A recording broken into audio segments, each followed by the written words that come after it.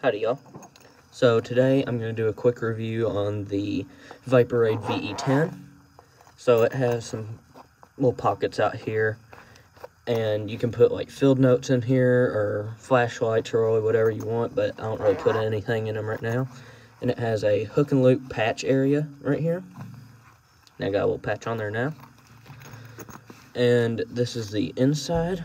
Right now I have an Olight i1R Pro in there and an Olight i3T Pro, an Olight, Olight i3T EOS, sorry.